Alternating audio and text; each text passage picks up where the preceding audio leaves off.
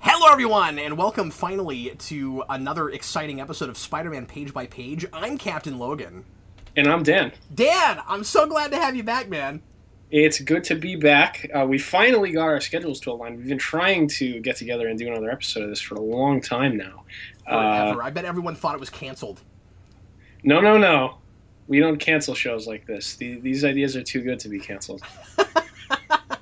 Uh, today, it's been it's been a really long time, and I know that I just posted another episode uh, a week ago, but that's actually one that Dan and I recorded months and months ago. Uh, that for a couple of reasons never actually got together. So um, you were hearing our lovely voices from at least nine months ago when you listened to that video. Uh, so for Dan and I, this is our first time back in a good long time, and today we are going to tackle the Amazing Spider-Man number four, which is the introduction to the Sandman. Once again, written by Stan Lee with art by Steve Ditko. One point I kind of wanted to make right out the gate with this issue is that it's starting to feel like, even though there is a progression with Peter and uh, his finding his footing as a superhero, and we're being real gradual about that. Uh, we've we're starting to come into kind of a formula, I think, where Yeah. y- you know J. Jonah Jameson hates him and is trying to ruin him, and he goes up against some new supervillain, and he uh, kind of d- d- sort of maybe discovers something about himself in dealing with, with with that with that villain and about his his new superhero lifestyle, and especially about having a dual identity. And then you get to the end, and he thinks everything's hunky dory, and then he discovers a consequence at the very end. Like that seems to be kind of what the formula is at the moment, anyway.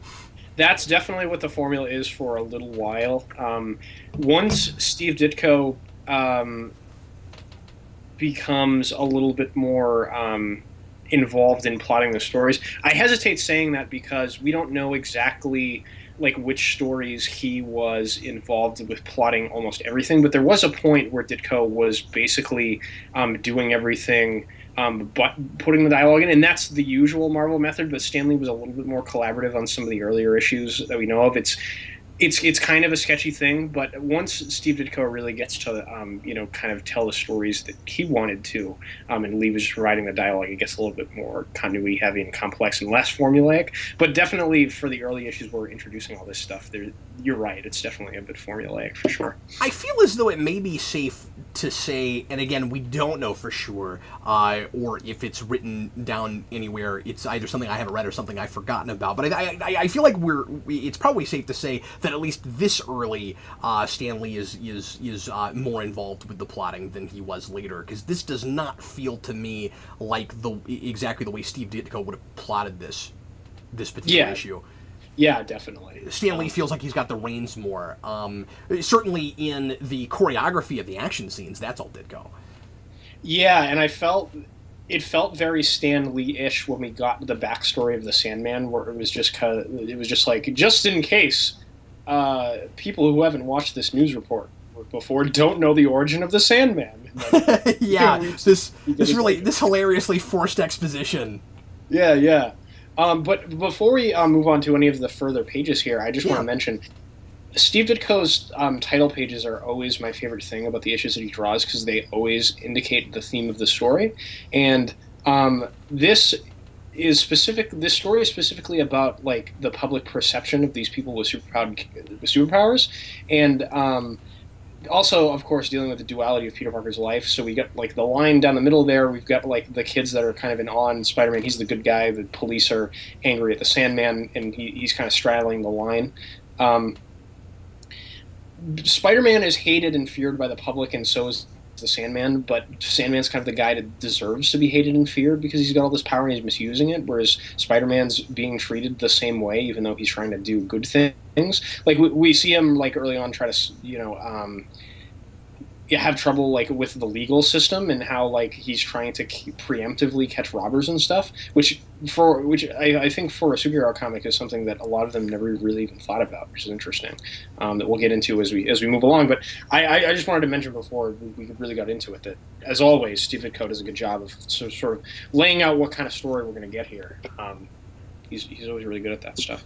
Yeah, I think it's important to mention that Sandman in this is very much, at least to me, what Spider-Man was a couple issues back, kind of afraid that he was destined to turn into.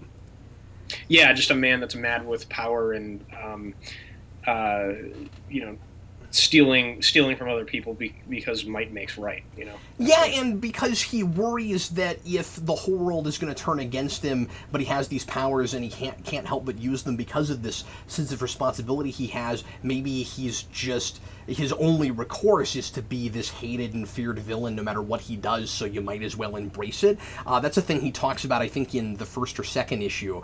And uh, it's and, and, so now uh, with sandman we've got a guy that um, has embraced that where where he was and importantly he was already like this before he got the sand powers so he is um, so he is already so like he never got the responsibility message obviously, and uh, so there's there's a clear um, like like even though the Sandman is not a really interesting, fully developed three dimensional character, um, not even in the slightest not way. not remotely. uh, there's uh, there's there's quite a bit of paralleling um, between uh, uh, him and uh, Spider-Man just as ideas, and I kind of feel like, especially just with that title page, that um, the idea more from Ditko than from Lee probably. I mean, I I see this more on the page than I'm reading it in the uh, you know in the narrative. Uh, you've you've got kind of this notion, if I'm not reading too far into it, that um, that you you have this kind of like lack of substance with Sandman, where he can be anything, but he's actually kind of nothing. And so the fact that he is a uh, kind of a kind of nothing character uh, is almost hilariously built into him and is almost intentional in a way that it hasn't been with our villains up till this because nobody's really been fully drawn and super interesting yet. Um, and uh, I mean Doc Ock more than anybody, but that's not saying a lot yet. Yeah, I, I think you, I think you're onto something there. Like the Sandman is very clearly just kind of a loser um, mm-hmm. as an individual person, and I, I think I think his powers are meant to reflect that in a way. Yeah, yeah, and I think that like everyone in this issue is is suspicious of people with power, so it makes people with power, even if they they have good intentions, um, it makes them difficult to exercise that power in order to help other people um, because of the way people perceive people like people that have this kind of power. So like Spider-Man's like like you said, maybe he is destined to become um, like maybe if, if, society says this is what people with power are, um, uh, are individuals able to rise above that? Is the question, and I think Spider-Man has proof positive that individuals can triumph over that.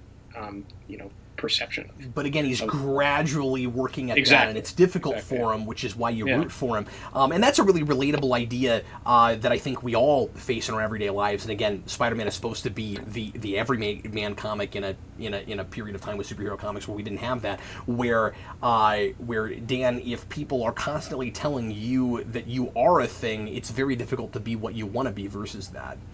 Yes, exactly, exactly. Uh, I also want to mention that this title page, uh, I think there is visually, and I, and I love what you what, what you uh, what you gleaned from this title page. Uh, that there is as much or more going on on this title page than there is uh, thematically and idea-wise in the entire comic book. Yeah, you're right. but it's a pretty straightforward and simple story. It is, but there's some stuff, and we'll get to it. Uh, one thing I, I, I should say is that uh, this is one. You know, we're finally starting to get to get out of the uh, the the blatantly labeled three act stories and then the uh, two stories in the same issue uh, that are sharing the real estate. This is one that easily could have been uh, uh dropped down to 15 pages in, in, in favor of putting another one next to it, I think. Yeah, I think so too. Um, but I think it does benefit from having some of the internal monologue that Spider-Man would become famous for, and some of the scenes of him just you know dating people and stuff. Like this could have definitely just been an action-driven, com- a completely action-driven story. I mean, all of all superhero stories are to some degree action-driven. Um, but but I think uh, the increased panel um, time I don't know even know if that's the right word for that, but like give dedicating more panel space to some of the more personal stuff, I think was beneficial. Well, that's a good point because story. yeah, because even if this was really short, it would probably have the same amount of action as it has because that exactly. would have that would have been even for Stan Lee trying to do these kinds of stories. That would have still been uh, a the, the, a uh, you know important thing to put up front to sell copies. So. Oh yeah, definitely. You know, it would have been hard not to prioritize that. At the beginning, we've got uh, Spider-Man, and I think this is one of the most interesting things in the whole story. Um, Spider-Man trying to preempt crime, where he is trying to stop these um, what, what jewel thieves, I think and um, they haven't broken into the store yet, but he can tell that they're definitely going to. And um, at first, I thought this might have been a little bit more interesting if he was actually um, making assumptions about people, and then it turned out they weren't really trying to rob the place. But then you get to the end of the scene, and you've got uh, the cop saying, um, you, you know, honestly, if I was Spider Man, I would have had a hard time grabbing these guys also. They clearly i mean just look at these guys faces dan on the second page here. Uh, like like like uh, uh, thugs were so often written with these big drawn with these big goofy smiles on their faces during this yeah period. they're, cl- they're classic silver age marvel thugs. Uh, steve ditko will draw people that look like this all over his issues of spider-man. It's awesome they look like they should be in the Disney version of Pinocchio. Like they look like they should. the, these are guys that should be hanging out on uh, that island. That island. Where, they reminded me of like marionette puppets too, which I yeah, guess is like Pinocchio. It's like uh, Pinocchio. yeah. So anyway, uh, so Spider-Man is uh, screws up there, and he's lamenting um, how he's uh, kind of messing up a lot in his uh, you know beginnings of, of trying to be a superhero, and how um, J. Jonah Jameson hates him and has turned the whole city against him. But he keeps making mistakes like this that are kind of uh, uh, exacerbating that problem. Yeah, and it doesn't really like explore the idea thoroughly, but I think like the like the ability of cops to like combat crime and whether or not we should preempt crime is always a question that is um, something we deal with in law enforcement. I mean, we've dealt with that idea in all sorts of different types of fiction. Um, it, it's just briefly brought up here, but I thought it was interesting. Yeah, sort I think put in this context, you know. Yeah, and I think a more seasoned Spider-Man um, would have dropped down and uh, not fought them and not attempted to rope them up or arrest them or anything and just say, look, I can tell what you guys are about to do. You probably ought to run off. Uh, and if he had done that, he wouldn't have had the same problem he has here. That's right. Um, he would have done the thing uh, possibly that he does at the in the uh, intro to the '67 animated cartoon, where he arrives just in time and kicks, kicks open the. He arrives just in time. because that that's literally what happens in that animated intro. It's dual thieves breaking into a place. And speaking of arriving just in time, uh, so he's swinging around some more, and then he runs into uh, another thug, and uh, I guess I, I, guess he is um, kind of uh, sort of learned his the lesson that he just learned, and uh, he shines his spider light, and he says just to let him know what he's up against. Uh, what do you make of that, Dan? Why does Spider-Man shine a light to let the criminals know what's coming? I always sort of thought that the spider signal was like a method of intimidation, sort of, like you know. A, a thug sees the spider signal. It's like, oh crap! like I committed a crime about, about to be busted. Like uh, it is kind of a funny idea to to think that uh, it's a it's a way to prepare the thugs for their imminent doom. He acts here like it's a common courtesy. Yeah, yeah. Um, I wanted to mention something as we introduce uh, Sandman on this page here, um, because I just think it's a really funny anecdote about Spider-Man history and like the way that the character is drawn. Um, so we have the famous Steve Ditko Evil Man haircut here, um, which is like weird cornrows, uh, which are inherited also by the Osborn family. That's and right. They're just more orangish usually. They uh, they actually yeah you're right. They they do look almost exactly like his haircut though, and funnily enough, if you read Spider-Man Chapter One, when they tried to reboot uh, Spider-Man after the Clone Saga, they gave it to John Byrne to like retell his origin and stuff, and they make Sandman and the Osborns related because they have the same haircut. It's it's kind of awesome. that that is awesome. I love that. Uh, that's what Spider-Man: Homecoming should do. that would be awesome. so this is Spider-Man's first real superpowered villain, I think. Yes, that's right. The other ones have been technology so far. Mm-hmm. And, well, if you want to call uh, the chameleon technology, he just kind of walks around with some masks and puts them on. yeah, yeah. Well, he's very good at making masks. it's right. technologically advanced. We don't even have masks that good today. No, come on, future. You're disappointing us. He's got false face masks right before false face. That's true. That's true. And so uh, he's he's really kind of surprised, of course, because uh, he's he's going up against the first person who can kind of uh, super powered in, in a superpowered way go up against him, and that is is kind of uh, uh, too much of a match for him. And uh, you know, Doc Ock was kind of too much for him, but this is a, a, different level in a way. How do you fight a guy that you can't even punch? Yeah, and the the thing about Sandman is like he's not even a character that like very many superheroes would be able to fight. Uh, like Spider-Man's only able to beat him at the end of the day because he's a smart person, which kind of speak, speaks to the theme of the story we were talking about earlier. Like he's a competent individual, whereas Sandman's kind of a loser, even though he has this power that's so great. Like he's never able to rise above the rank of petty bank thief. Uh, like like that's what he thinks to do with his power, rather than trying to help other people. Um, like I, have heard people sort of complain about Sandman, like that he doesn't he doesn't really fit into the Spider-Man Rogues Gallery as as well as some of the other ones because he doesn't really fit Spider-Man's power set. And because he's not an animal. That that's very true. I mean, there are there are animals that live in sand. That's but, true. He could be like Scorpion Sand guy. He could have like a scorpion head. That's true. Yeah. Oh, they should do that. They should have done that he could be related to the Osborns and have a scorpion head to uh, to hide his cornrows. I am the Sand Scorp. Fear me. Cuckoo cuckoo. Anyway, um, but uh, but but yeah, I I've always kind of enjoyed the Sandman um, as a character that's kind of a like exactly as he as he is here. He's a sad sack loser, and because he's such a he's such a kind of terrible not even terrible in the in the way that like Norman Osborn is is terrible. Like he's evil. Flint Marko is just kind of kind of a loser, and. Mm-hmm. Like con- contrasting him with Peter Parker, I think has always been an interesting con- uh, contrast because, yeah, his like Flint Marko's raw power versus Peter Parker's raw power, if you gave them to equivalent individuals, like Sandman would win every time. But because Peter Parker is who he is, that's why he's able to beat him. And yeah. I, I, I, think that's how he's useful in Spider-Man stories, and that's why I've always kind of liked him. Yeah, and it's because I mean raw intelligence plays a part, but it's also because uh, he's the, the, for for Peter. Obviously, the stakes are higher because he cares about people. I think it's important that that fight takes place in the school, right? Yes, and and things like that. Uh, but we're getting a little bit ahead of ourselves. Uh, one thing I'm wondering on this page uh, with, with, their with their first fight is uh, how exactly Spider-Man's mask gets ripped to the point of being in two pieces on the front of his of his head. I just I don't even know what happened there. Like it gets hit in the midsection, and then he hits his head, and now it's like if if it was a mask that could crack, I could almost see it, but it's it's it's sewn. Like, how does that work? That's true. I wasn't thinking about that. It really doesn't really make all that much sense that it ripped there, does it? That's no, that's weird. I just think that's kind of funny.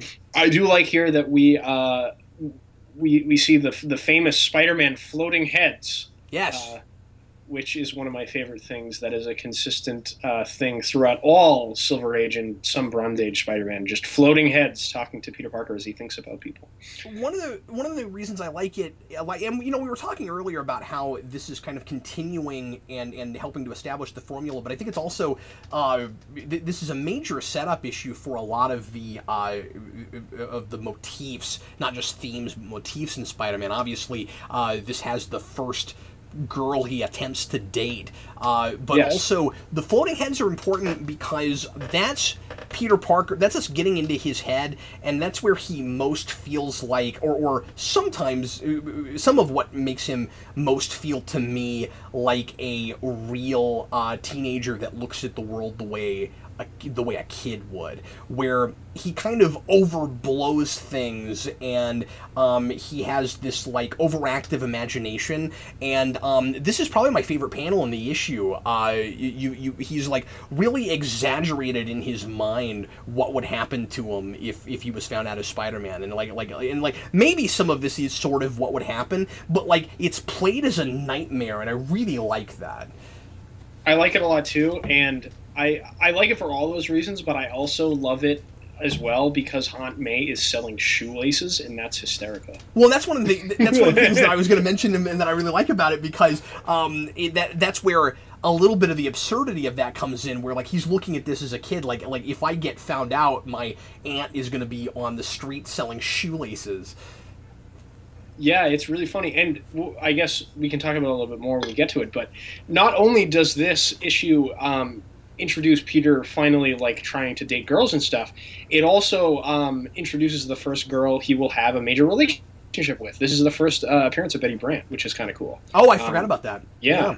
and she does notice him when he walks in um, and says, "Oh, that's that's J. Jonah Jameson's young photographer." She doesn't say she's attracted to him yet, but she will. I, I love Betty Brant. She's um, in her early appearances, she's a little bit less likable than she becomes later on. Like the, the way the way that um, Peter, uh, her and Peter's relationship uh, plays out here, it's a little bit more melodramatic than some of the other relationships we'll see later on. Um, but but I do like Betty a lot as a character. She's great. Uh, Dan, I, I also think that it's more likely that Aunt May would try to open a wheat cake restaurant Yes. than to sell shoelaces. See, I don't know why we don't call them wheat cakes anymore. I, I don't either, but ever since we, we the wheat cake panel, uh, I, all I want to do is call them wheat cakes. Oh my god. We need to open a comic book themed breakfast restaurant and serve wheat That's cakes. brilliant. Yeah, yeah, a comic a comic slash breakfast place. That would be awesome. Like We everything on the comics in the menu is lobby, and then yeah, and you have wheat cakes. uh, we could call them Aunt May's wheat cakes. Uh, the best. Oh my god, that's that's brilliant. Yep, uh, no one else can have that. That's mine and Dan's. Patented geekvolution. Uh, so he, this guy is just a bank robber. That's what he's here to do. Uh, I we, we start to get even for Stan Lee a little bit overwritten here. I don't think we need all of this internal monologue about how uh, uh, oh boy, look, my powers are even better than having tools. It's like yeah, we get it. We can see what you're doing. We don't really we don't really need all that. So so he's four panels devoted to and he broke into a bank with his powers. Take all that dialogue off. You don't need any of it. And um, then we've got Peter Parker attempting to sew his uh, mask, and again lamenting. He does a lot of lamenting in this issue. He is he is not happy about having to sew things, and if only he could tell his aunt his secret identity, he would not have to learn how to sew. And we have the little recap of the Sandman origin here, which is like So hard not to laugh at. Yeah, and it's straight out of um, Spider-Man Three. Like I, I kind of forgot how faithful Raimi was to this first appearance uh, when he was doing the Sandman origin in the movie. Not that anyone would have cared if he was, but he was. I care. I like Sandman.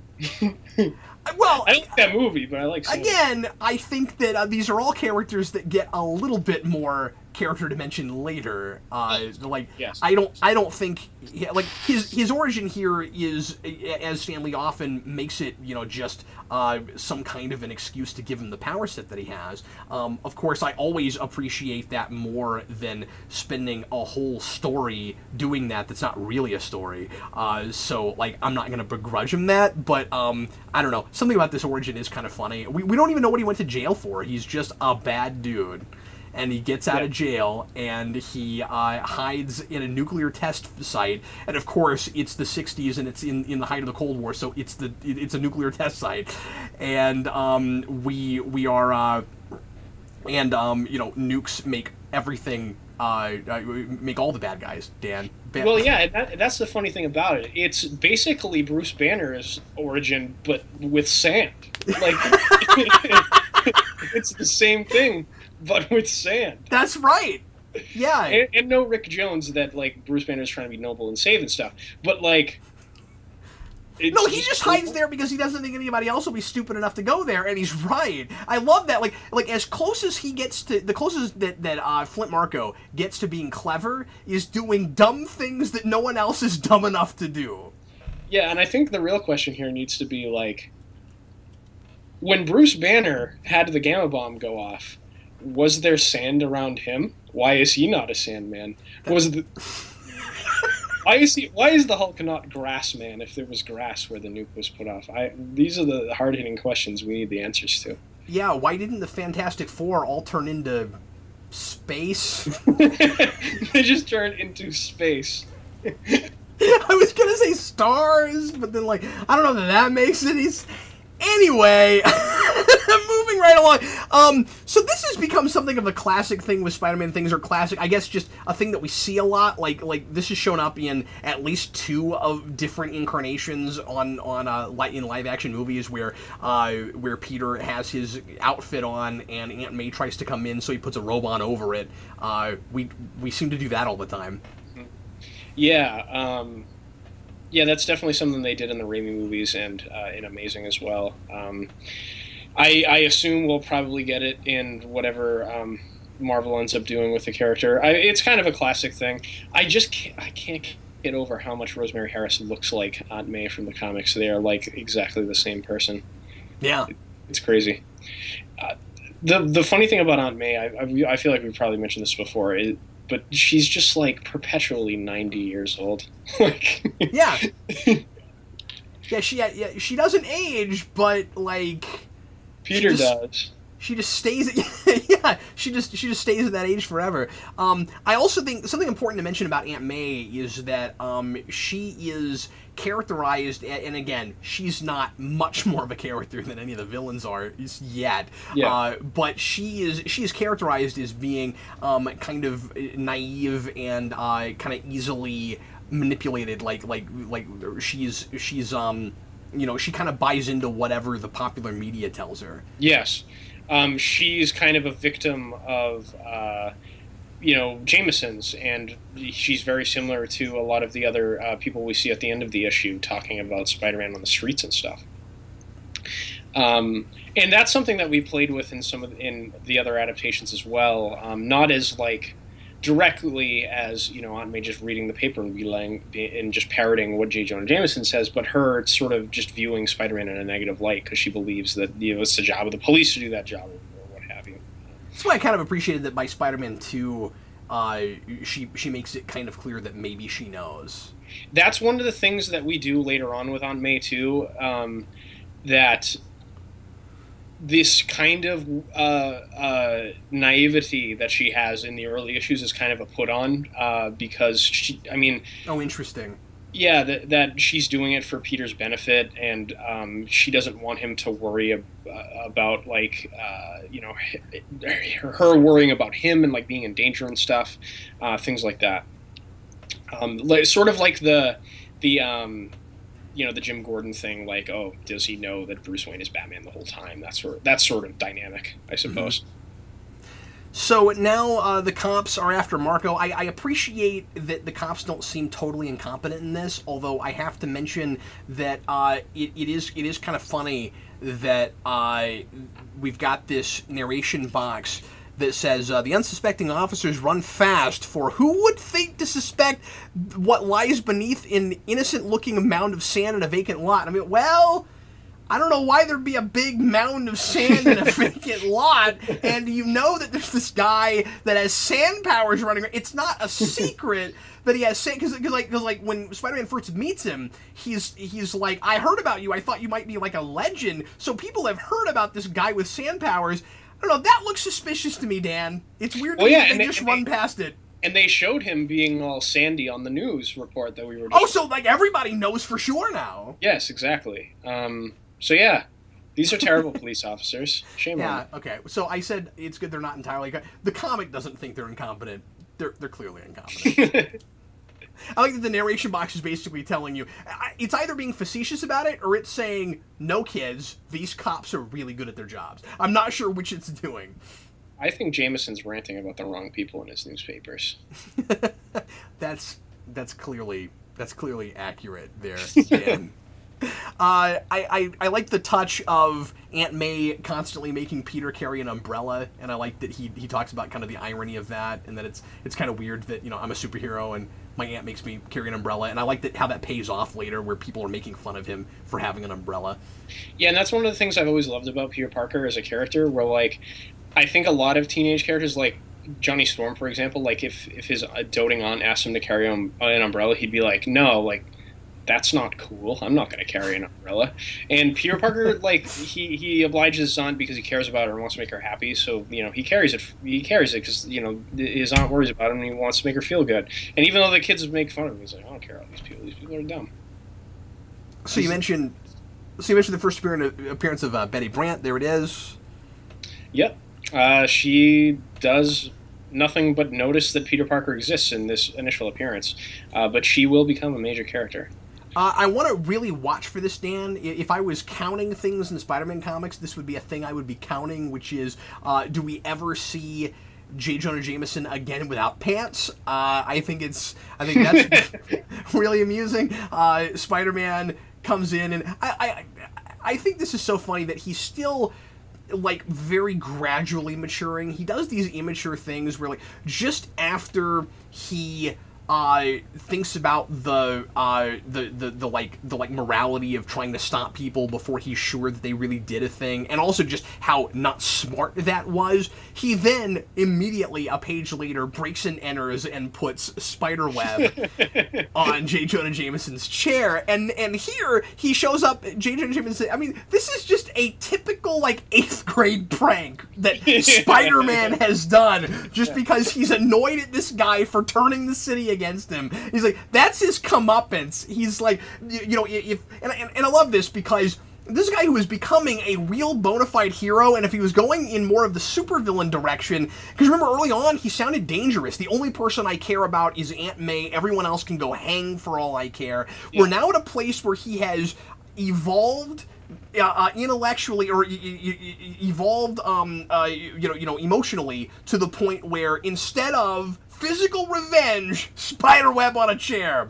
and he Peter Parker walks in and he goes, "Oh yeah, I totally forgot I did that."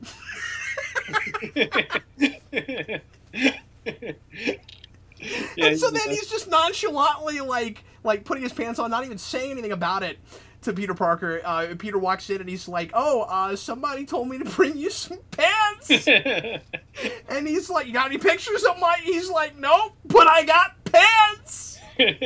yeah, this this scene makes me laugh out loud every time I read it. Uh, uh, J. Jonah Jameson's perfect. Such a wonderful character. Another stagnant character that we love for his stagnation. Oh yeah, exactly. J. Jonah Jameson is like the Batman of the Marvel universe. He's never gonna change, but he but we love him for it. You know. Okay, I'm not gonna touch that. Um, okay, so he's like, he's like, uh, bring me some pictures. That's gonna pay off a little bit later uh, in another really amusing way. Yeah. And uh, now we get into uh, Peter deciding, okay, I've got to spend my evening going to find the Sandman. I guess it's because he thinks that he's the only person that can solve this problem, even though he hasn't figured out how he's going to actually deal with it yet because he can't punch through the guy. Like, like I'm not sure why he's seeing this as his responsibility over the cops right now. Yeah, I, I, would imagine it's because he feels like he's the only one that has the power to stop him. Even though he doesn't know how he's going to do that yet. It really comes off like, well, he's the superhero of the story, so of course he's chasing the guy. And at the and, and like and like I'll I'll meet Stan Lee this far. He's at least gotten him to a place where he is trying to be a hero instead of making everything about him now. And we have believably gotten him to that place. So I'll buy it for that, I guess. Yeah, and yeah, I I, I took that. Um, you know what Stan Lee was was going there, uh, like you were talking about, and I think it kind of fits in with the theme of the story. Like even, even if it's not necessarily like ex- explained explicitly, mm-hmm. um, which maybe maybe it should have been. I, I think thematically it, it, works. Like you know, Peter Parker is saying, you know, I ha- I have the uh, the power to stop another guy that's even more powerful. That's misusing his power, and it's my obligation to do something about it. So he was supposed to have a date with Liz Allen. I think this is really interesting. Uh, he just bothers her and bothers her about about going out with him and she finally just says okay fine whatever Yeah. and then he's of of course he's got Murphy's Law, and this is this is that very classic, and this is the beginning of that very classic Spider-Man thing where something always comes up when he's supposed to go out with a girl, and she can't understand him because he can't tell her who he is, and uh, it's that you know trying to balance your personal life with being a superhero thing. This is where all that starts, and uh, he's got to go chase after the Sandman, so he can't go out with her with her now, and uh, now uh, uh, uh, Flash Thompson is making his moves again. Oh yeah, ladies' man Flash Thompson with that big orange hair and that wonderful sweater. Look at that thing. Like I, I love how you know you know you, you look you look back at the '60s and you go wait who looks more nerdy in this scene to you? yeah, yeah, exactly. I love that Peter Parker is the nerd in that scene. I know, right? I um He's got an umbrella. What a goof. I know, right? I'm really um, excited to see what they do with Liz Allen, um, in because it's kind of been leaked and confirmed that Liz Allen's going to be in the new Spider-Man uh, movie coming up here. Yeah. And um, she, of course, in the comics, eventually marries uh, Harry Osborn, has a son with him. So I'm hoping that uh, she's sort of the way in which we introduce the Osborns into uh, the equation at some point in the movie. That would be kind of cool. I think it's unlikely that she'll be uh, the the main love interest for Peter in that movie.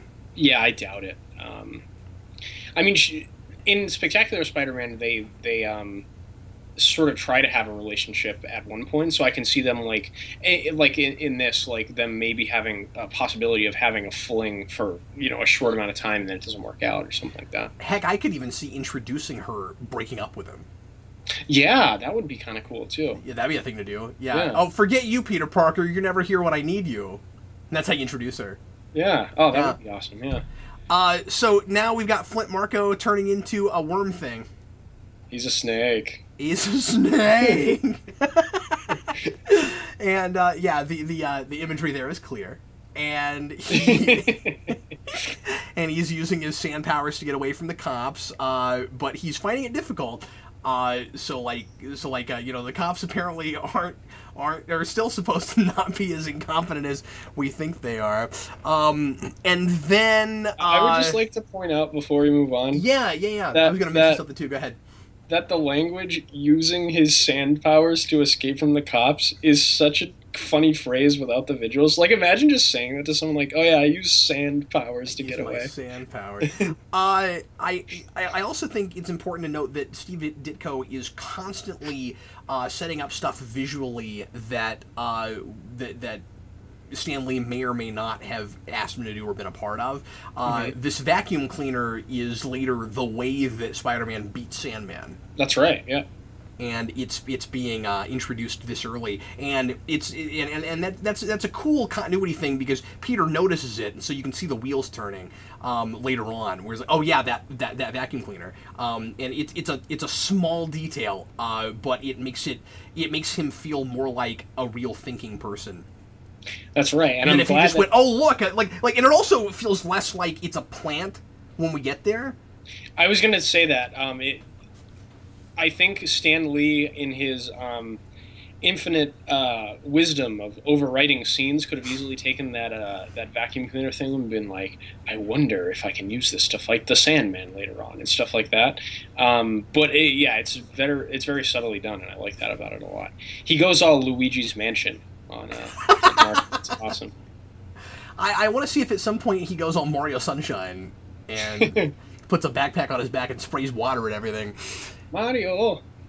Uh, I like this little bit where the kids are all impressed with the principal for standing up to the Sandman and saying, "No, you get no diploma."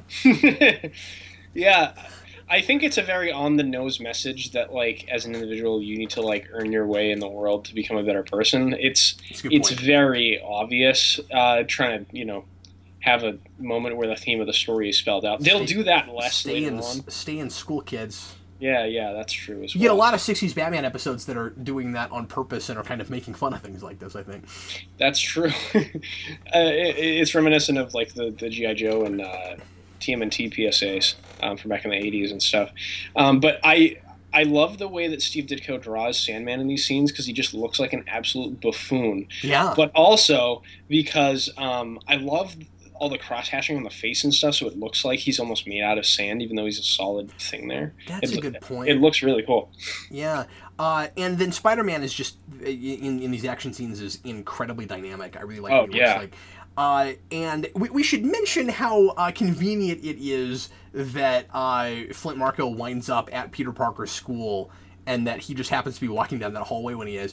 Uh, like like like uh, like Sandman turns around and goes, "I gotta hide someplace." Oh, look, a school. yeah, it is rather convenient. You're right. Uh, so so Spider-Man is uh, fl- fighting Flint Marko in front of the people that have most given him guff as Peter Parker. I think that's important. Um, I think that the the that the Peter Parker uh, before he matured as much as he has and learned some of the lessons he's learned uh, might have just walked away. Yeah, yeah, you're right. Um, because and, and, this is a little bit even more intimately connected to him than some of the other problems he's had where it's like this is his his school the place where he's getting his education where he hopes to graduate and go into college and stuff where he, you know he's he's got some sort of investment in this place as opposed yeah. to some of the other uh, problems he's dealt with so um, yeah, yeah, no, I agree with you. And he's um, doing this somewhat snidely. You know, he's saying here, if uh, if these people knew that I was Peter Parker, would they be cheering me like they are? You know, I mean, he's he's he's feeling vindictive, but he's not acting on that. He's doing the right thing while thinking a little bit more selfishly.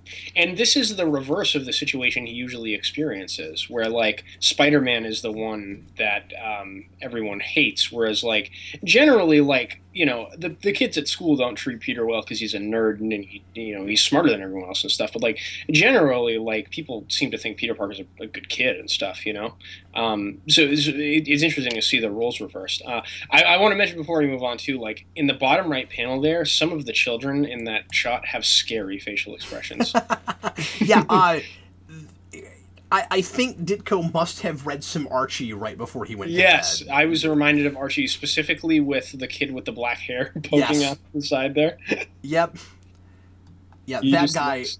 That guy is gonna go get a hot dog right after this. He looks like he's out of a Twilight Zone episode or something. Uh, so now we've got a big fight, and Spider-Man's trying to figure out how he's going to beat uh, Sandman, and he has not yet come up with his uh, ruse. That's right. Um, yeah, it's it's so awesome. Like that, a lot of these Spider-Man, like specifically like the visual elements of the of Sandman here, like are already established, like the hammer hand and stuff. Like Ditko, um, it, it, it's so. Um, it's so crazy that some people like don't acknowledge just sometimes out of ignorance because you know Stan Lee is such a public face of Marvel. Like people don't know that that Steve Ditko was in, as involved in these characters as he was. But like, man, you can't you can't understate his contribution. It really is true that everyone like following Ditko was kind of trying to be him. I mean, Romita had a different style, but he was definitely like. I mean, some of the d- designs Ditko came up with are incredible. Yeah, absolutely. Um, and uh, we're, we're still fighting. I love the perspective with the hand there. Oh yeah, it's great. That's really cool. And then uh, we get a surprisingly uh, kind of terrifying bit here where Spider-Man sh- uh, uh, punches his hand straight through him, and then he solidifies and he gets his hand, his arm stuck, and how how lucky is he that somehow rather uh, physics aren't working such where the other side of his arm just gets lobbed off? Like that's what I would yeah. think would happen. And this is a moment we do in uh, Spider-Man Three when he drops into the uh, the back of the truck that Sandman's in. that This exact thing happens uh, where does he, does he solidify his arm like that where he gets stuck?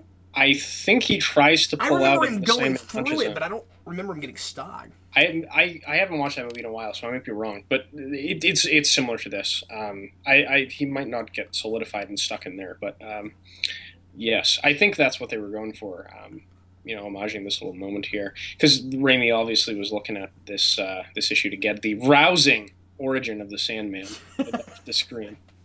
I also, I also, rousing. Um, it, mu- it must just be a bird. Hey, why don't we go check and make sure it's a bird before we try this nighttime ex- experiment? Um, and, then, and then the, the guy from Iron Man 2 is like, Where is my bird? Where is my bird? You have everything figured out. Yeah. You know what that guy's name is? Whiplash. Oh, yeah. Um, anyway, so uh, I like that we go so far as to have Spider Man just slam his head and it explodes in sand. Yes because he knows that he's like like I like that that Peter Parker has been able to establish earlier that this guy is definitely uh, not going to be faced that for, by that, so he knows that he won't actually kill him. Like like we're, we're being really thoughtful about what the rules are. Mm. You know what I would really like? I would really like a bear rug that looks like Flint Marko in that top right panel. I, I can't. I couldn't handle that. I don't think I could deal with that.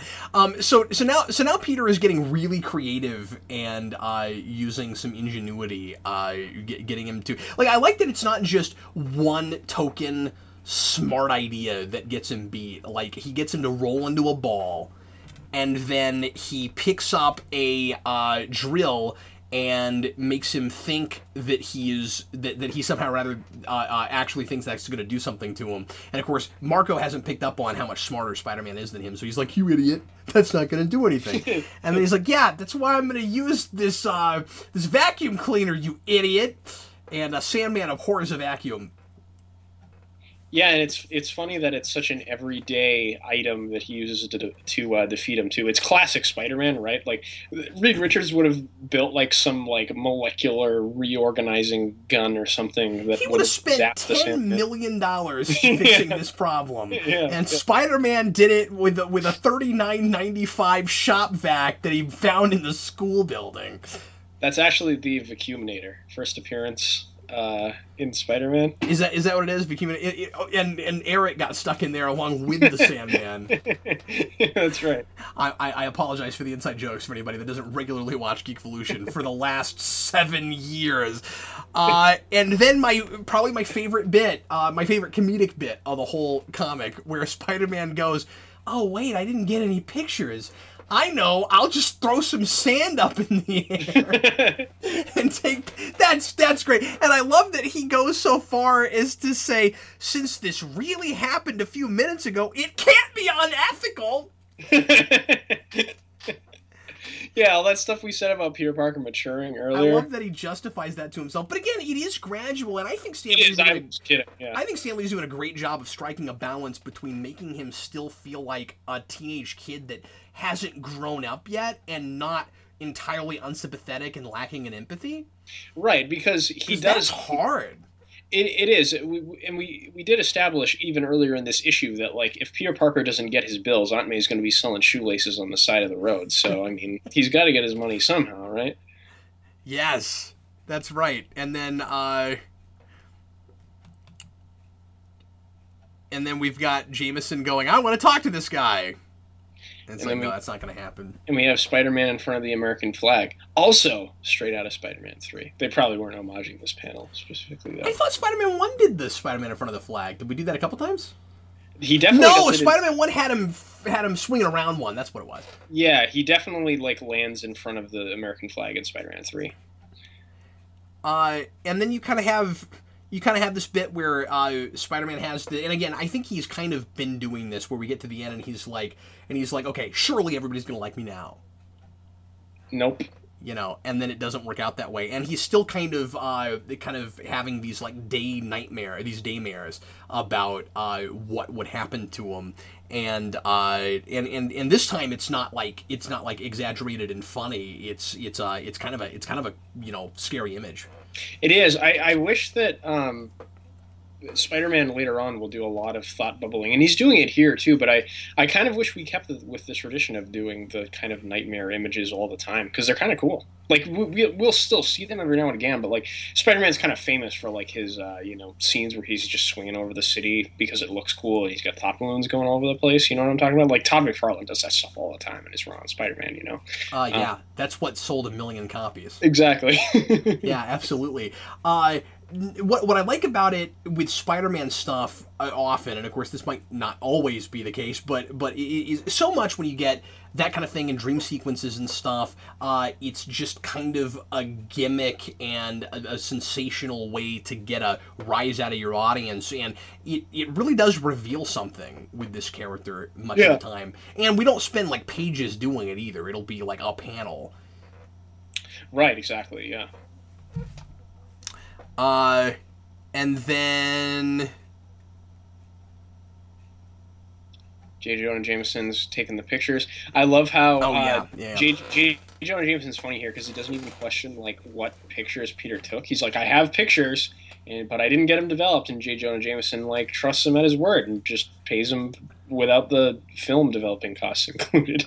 I guess because he's I guess because he's desperate, or because he doesn't actually have any journalistic integrity. Uh, Probably both.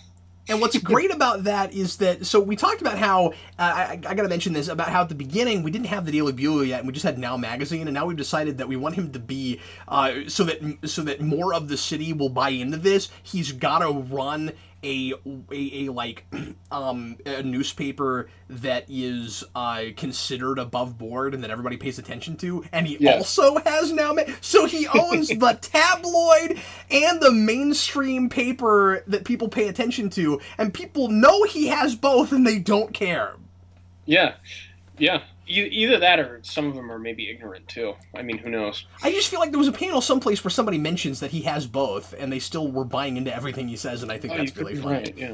Yeah, I just think that's so funny. Uh, and then, uh, and then, and then Peter says, "Oh, hey, I didn't have to go find the find the Sandman tonight. He was nice enough to attack my school." so I'm free this evening. Hey, Liz, and uh, she's like, I, I like her line here. Perhaps we we should declare this a national holiday.